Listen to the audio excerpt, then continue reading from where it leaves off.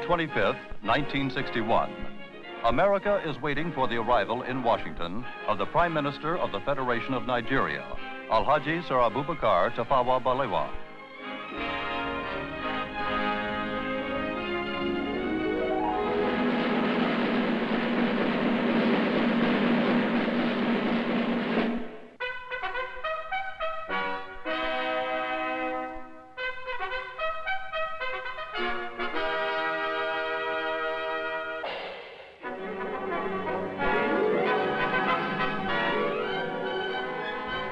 Prime Minister Balewa is making an official visit to America at the invitation of the President of the United States, John F. Kennedy.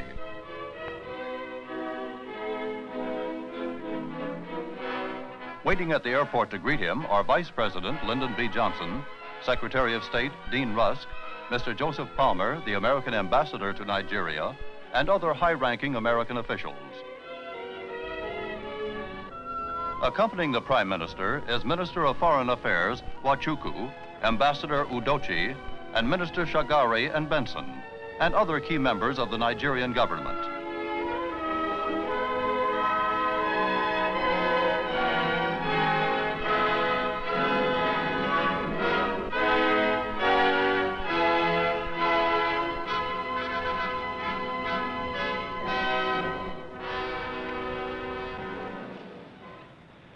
Prime Minister, I am honored to welcome you and the distinguished members of your party to the United States.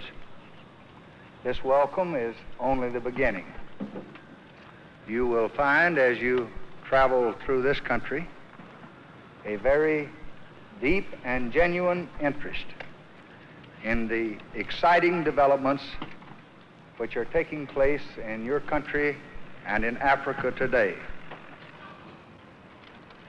I am very pleased to be with you in the in Washington today, and I look forward to the week which we are to spend among you.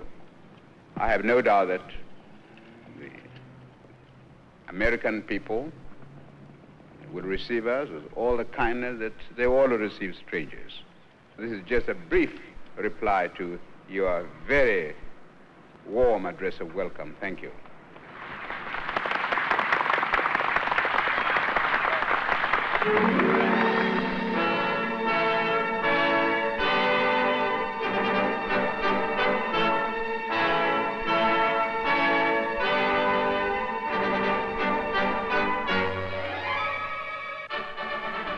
An official motorcade now conveys Prime Minister Balewa to the center of Washington.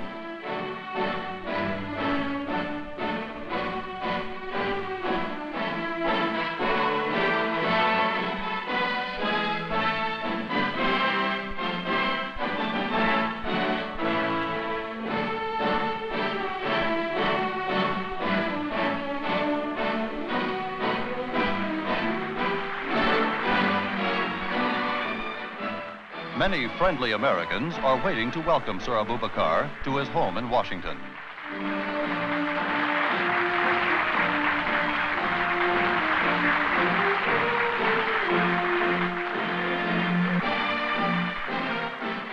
During his stay in the American capital, the distinguished visitor will reside at the Blair House, the special residence for guests of the American president. Just across the street from the Blair House is the White House, where President Kennedy awaits Prime Minister Balewa.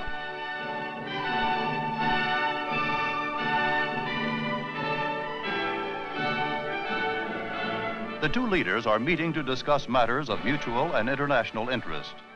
In a joint communique summarizing the outcome of their deliberations, they reaffirm their support for the principle of self-determination for dependent peoples and their unalterable opposition to racial discrimination under any name or in any guise. President Kennedy expressed his pleasure at the success of the Monrovia Conference and congratulated the Prime Minister on his constructive contribution. The two leaders affirmed their confidence that their exchange of views had strengthened the bonds of friendship between their two countries.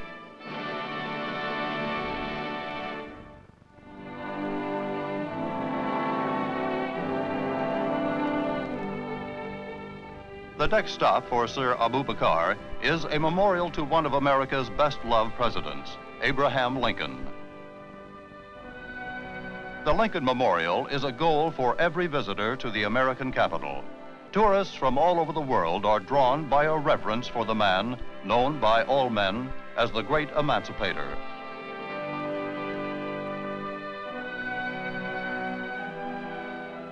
As they stand before the statue of Lincoln, the Prime Minister and his party remember the words in which Lincoln addressed his countrymen. He called upon them to do all which may achieve and cherish a just and lasting peace among ourselves and with all nations. Sir Abubakar and his party see a monument to America's first president, George Washington, as they leave the Lincoln Memorial. A group of children proudly display the placard which Prime Minister Balewa has autographed for them.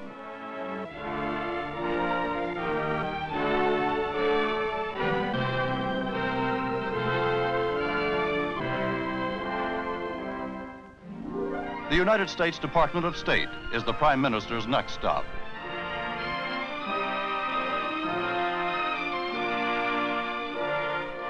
An exhibit of photographs from Nigeria and of Nigerian arts and crafts has been planned to coincide with Sir Abubakar's visit. This exhibit is aimed at helping Americans to understand the progress being made in Nigeria.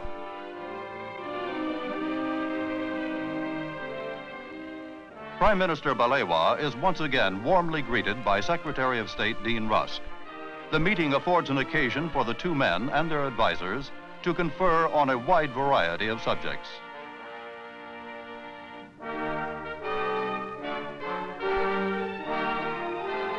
The House of Representatives of the United States invites Prime Minister Balewa to speak in a special session convened in his honor.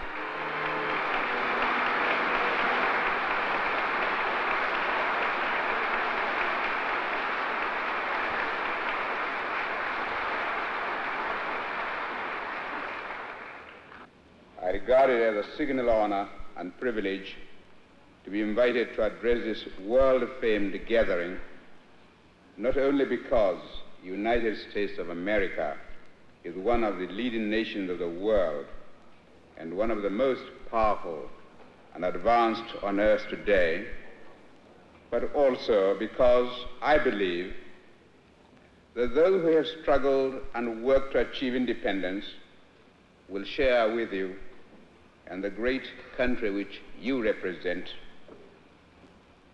a special meaning of liberty, of freedom from outside control, and opportunities for the fulfillment of one's national desires and cultural heritage. No one who visits the United States of America will fail to notice the effects of a free society and of a democratic system of government in which the rulers are the embodiments of the will of the people and where the activity of those who rule are reviewed frankly from time to time by the entire population. We admire the American way of life and we respect the people of the United States for their love of freedom. The spirit of freedom which was kindled in the hearts of the founders of your great nation and has impelled you to great feats in moments of national emergency, as well as in your daily activities. That same spirit has shown itself in Africa, and we are determined that the flame of freedom once alight shall not go out again in our continent.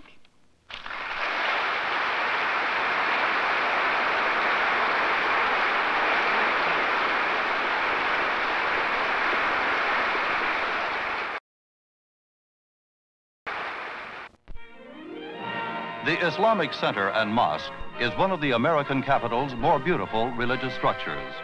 Alhaji Sir Abubakar arrives to visit the mosque, which is a center for study and research on Islam. Dr. Mahmoud Hoballah, the director of the Islamic Center, greets Prime Minister Balewa.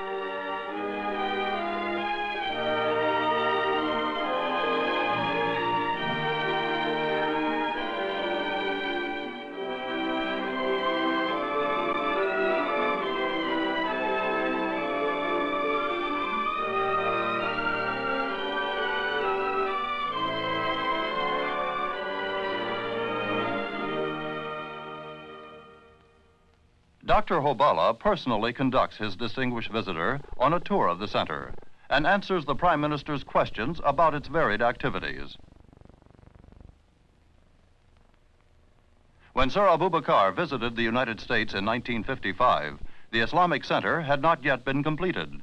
The Prime Minister is impressed by its finished state and also by America's interest in Islam.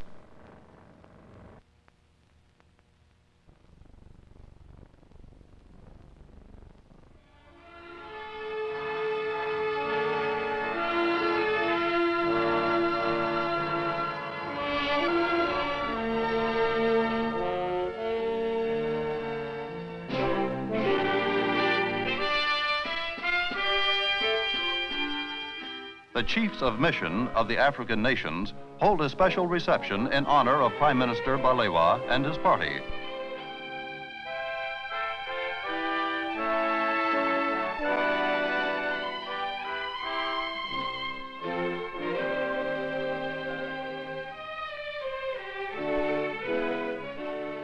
Present at this gala occasion are Ambassador and Mrs. Udochi and many other distinguished official and diplomatic dignitaries.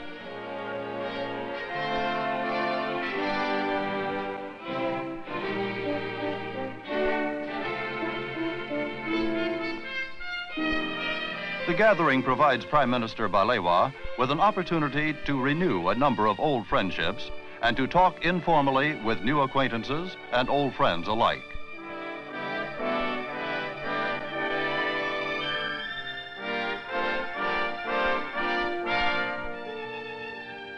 The National Press Club, whose membership includes distinguished world journalists, is one of the most influential forces on public opinion in the United States.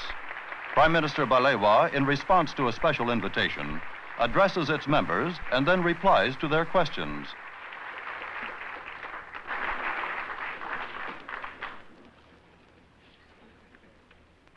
I would like to thank you, Mr. President, and the executive members of your organization for giving me the opportunity to address such a distinguished gathering.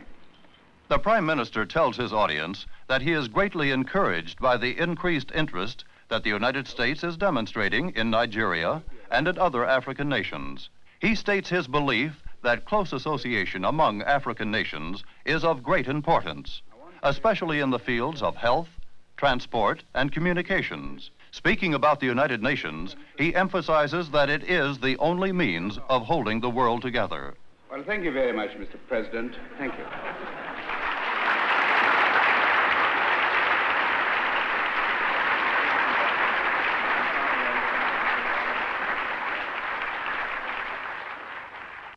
Gettysburg, Pennsylvania was the site in 1863 of one of the decisive battles in the American Civil War.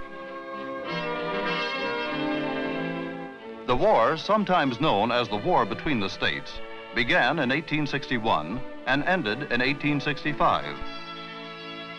The Battle of Gettysburg was a turning point in the war, which ended in the defeat of the rebel forces. Sir Abubakar requested that his visit to the United States include a tour of this famous battlefield.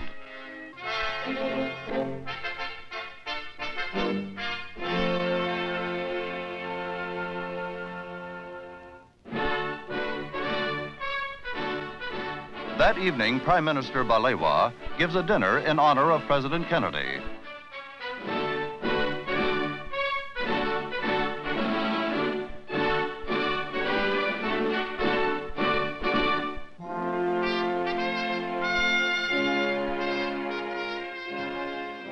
President Kennedy and Senator Hubert Humphrey engage Prime Minister Balewa in a few moments of informal conversation.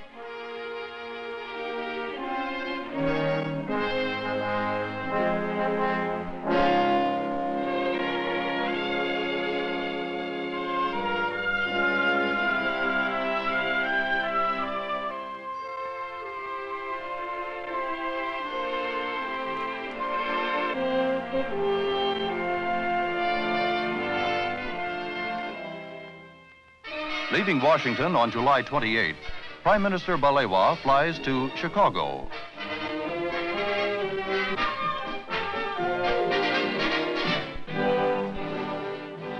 Northwestern University, near Chicago, is one of America's leading educational institutions.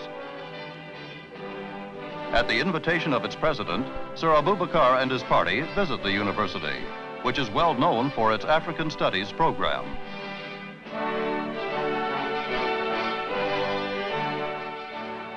Before touring the African Studies Center, the Prime Minister and his party signed the university's guest book.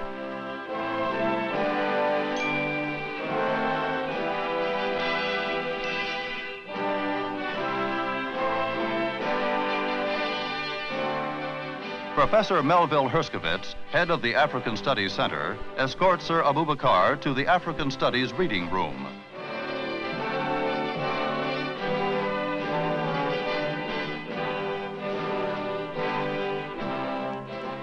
Northwestern University has a collection of 20,000 volumes on Africa.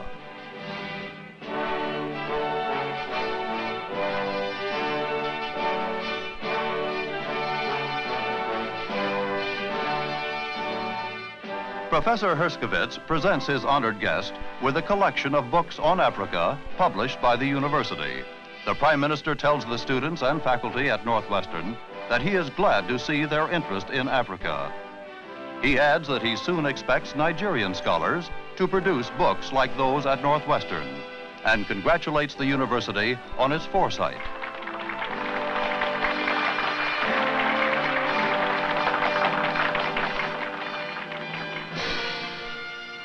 Later that day, Prime Minister Balewa attends a reception in his honor given by the mayor of Chicago, Richard J. Daley.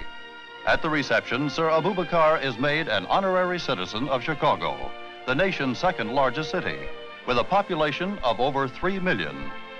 Mayor Daley says that Prime Minister Balewa represents all that symbolizes progress, freedom, unity, and faith. On the sixth day of his visit to America, Sir Abubakar travels by plane to Knoxville, Tennessee.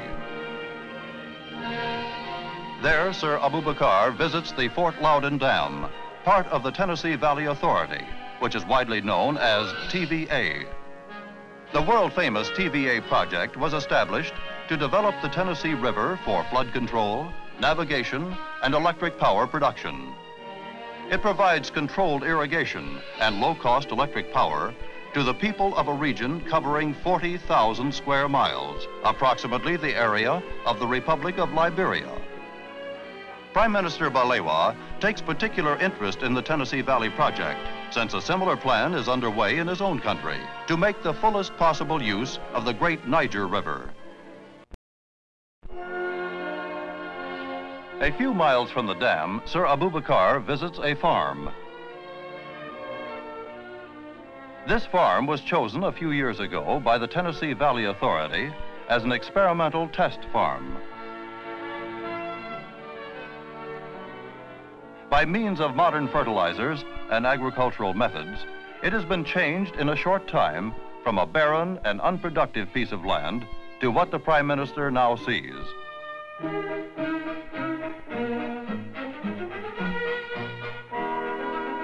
Lessons derived from experimental farms benefit the entire valley.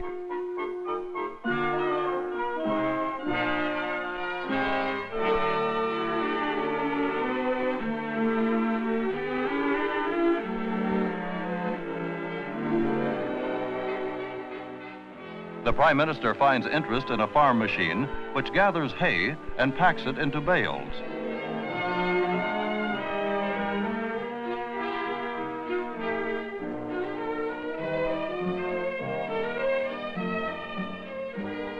A group of neighbors has come to the farm to give a small party in honor of Sir Abubakar.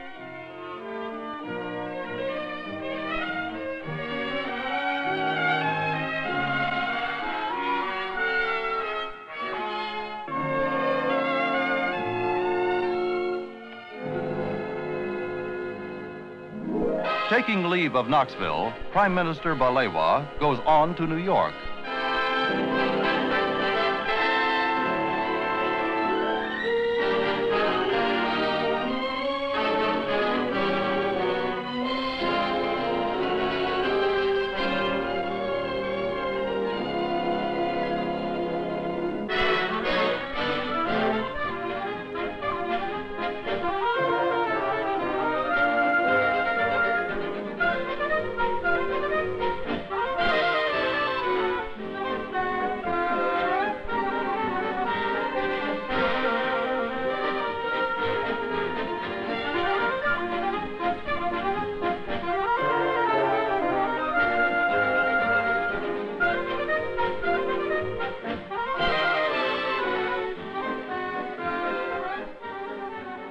Abubakar is on his way to New York University, which is the largest private educational institution in the United States, with a student body of over 40,000.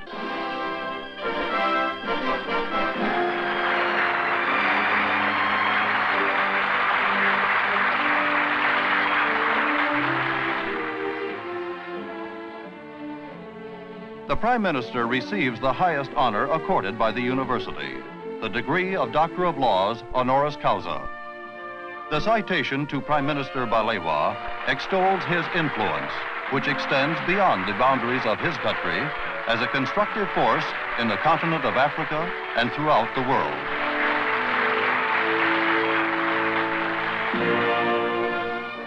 The Overseas Press Club in New York, an organization of American foreign correspondents, holds a luncheon in honor of Sir Abubakar.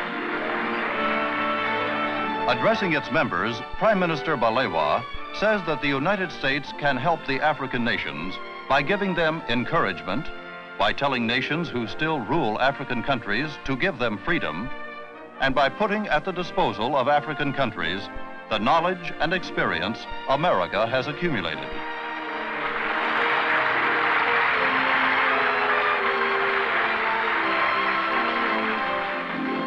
At New York's most famous hotel, the Waldorf Astoria, the African American Institute and the American Society of African Culture give a dinner in honor of Prime Minister Balewa.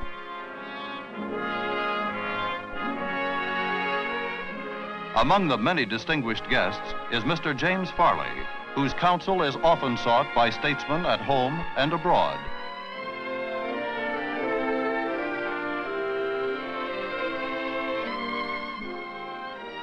Sir Abubakar is delighted to encounter the famous American singer, Marian Anderson. The United Nations is ready to receive Prime Minister Balewa.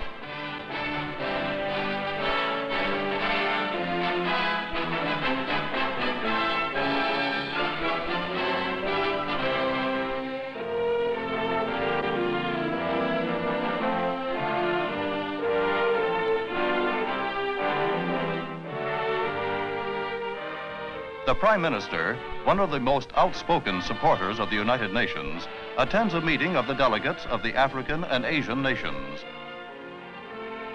He reminds the delegates of the importance of working together and presses upon them that it is desirable not to form blocs, but to pursue the truth and try to bring some sanity into the world. After addressing the African and Asian delegates, Prime Minister Balewa meets United Nations Secretary General Dag Hammarskjöld, who escorts Sir Abubakar into the auditorium of the General Assembly, which was not in session at the time of his visit.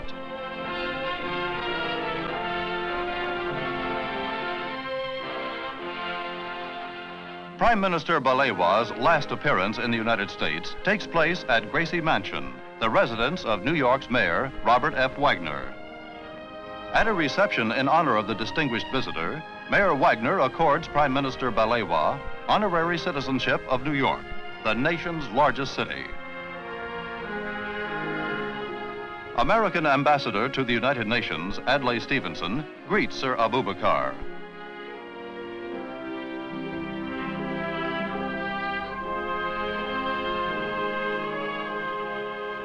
After receiving a symbol of his New York citizenship, the Prime Minister addresses a few words of farewell to the American people. I find it difficult to express to you my thanks because since my arrival in the United States, I've been receiving a lot of kindness and hospitality from different people, from the President, from all the people, and now on the eve of my departure to my country, from you, Mr. Mayor. You in the United States have got a lot to teach the rest of the world in the art of living together in peace with one another.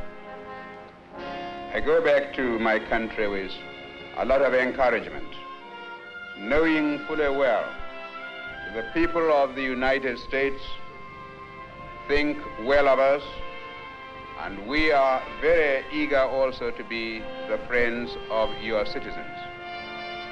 I hope that by our coming together, by our exchanging ideas, and by showing one another mutual respect and understanding, we shall be able to make this world a better place for mankind. Once again, thank you very much. And we shall go back to Nigeria with happy memories of our stay in the United States of America.